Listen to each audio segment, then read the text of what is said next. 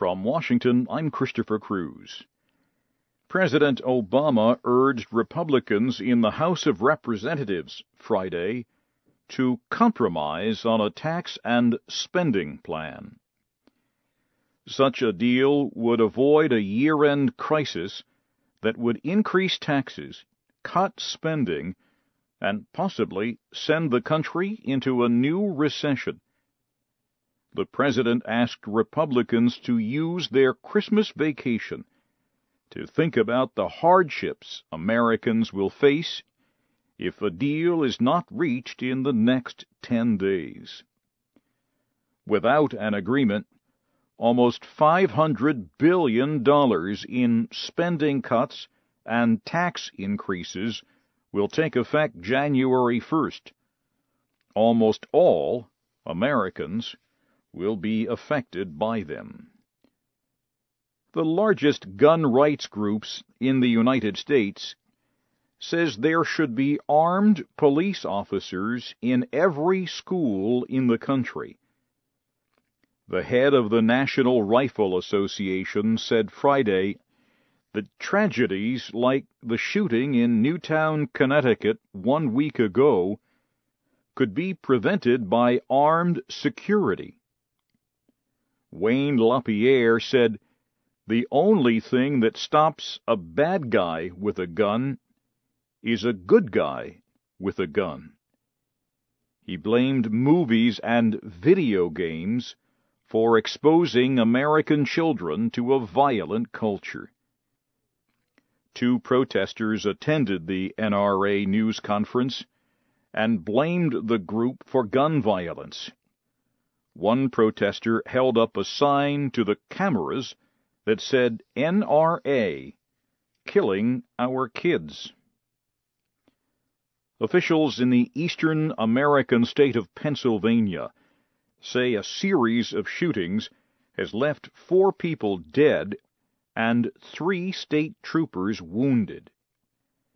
They say the shootings happened over several kilometers in Frankstown Township, about 150 kilometers from the capital of the state, Harrisburg. They say the gunman was among the dead, and they say the emergency is over. The gunman shot and killed two men and one woman during a fight. The shooting happened one week after a man in Newtown, Connecticut, killed 20 children and six adults before killing himself. South Sudan's army has shot down a United Nations helicopter, killing all four Russian crew members. A South Sudan military spokesman said troops mistook the helicopter for an aircraft supplying weapons to rebels. UN Secretary General Ban Ki-moon condemned the attack. He said the UN helicopter was clearly marked. He called on the government of South Sudan to immediately investigate the incident.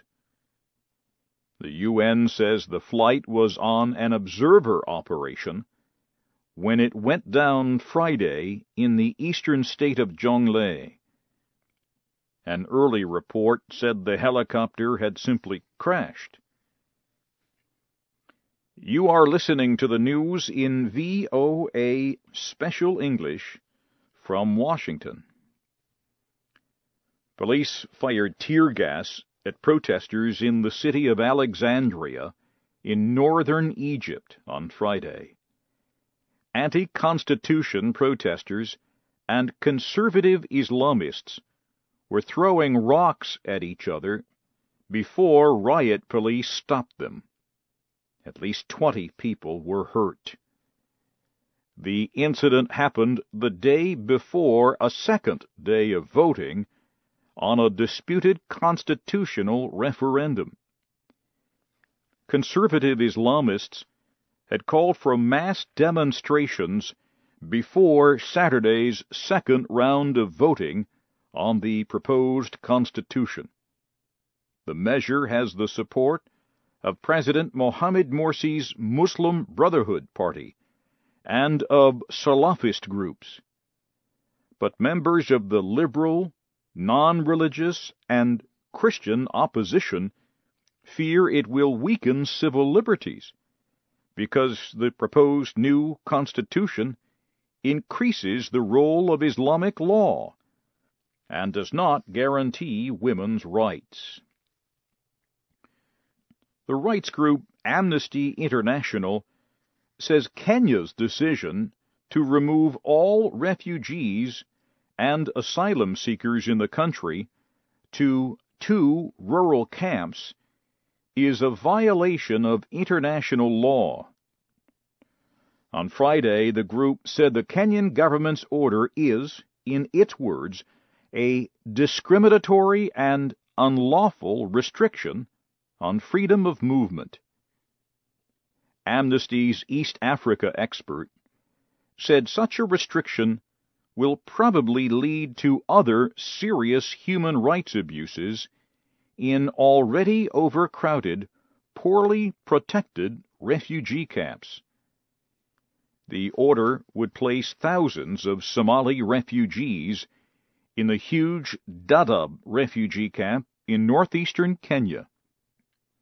Refugees from other countries would be sent to Kakuma, a camp near the border with South Sudan.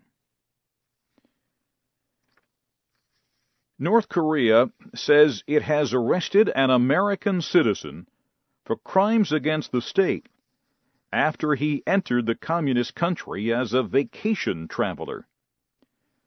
The man is identified as Bae Jun Ho.